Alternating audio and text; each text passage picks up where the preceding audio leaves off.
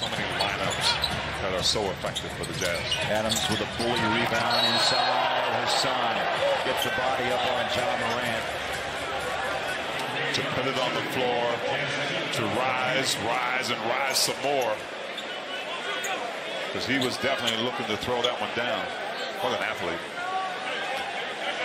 You know, this is what he does for a living. I mean, he lives in the paint.